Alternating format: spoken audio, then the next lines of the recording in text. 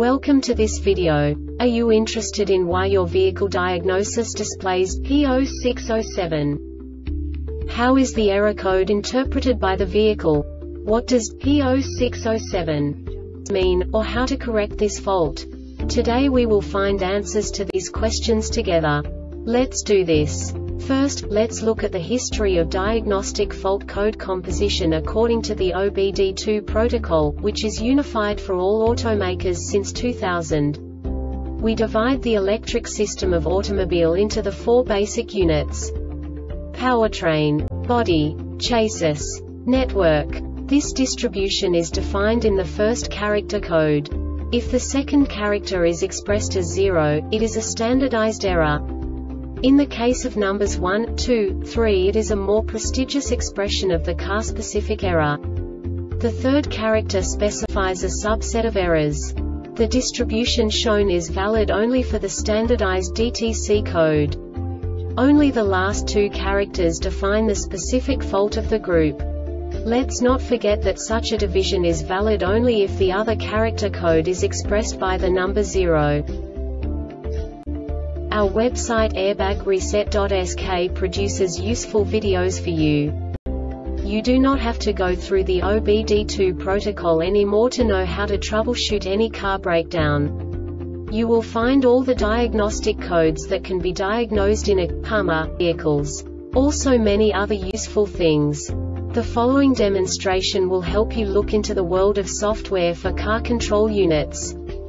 You unbelievably can move the video a bit further. The error code is split into two bytes consisting of 16 bits. One bit is the basic unit that each computer works with. The bit has two logical states.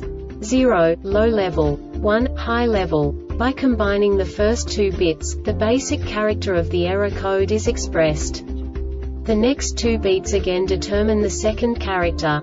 The last beat styles of the first byte define the third character of the code. The second byte is composed of a combination of 8 bits. The first 4 bits determine the fourth character of the code. And the combination of the last 4 bits defines the fifth character. A single byte conceals 256 possible combinations. We now know in what way the diagnostic tool translates the received information into a more comprehensible format. The number itself does not make sense to us if we cannot assign information about it to what it actually expresses. So, what does the diagnostic trouble code P0607 interpret specifically Hummer car manufacturers? The basic definition is Output air temperature sensor 2 circuit range or performance. And now this is a short description of this DTC code. The ignition is turned on. This diagnostic error occurs most often in these cases.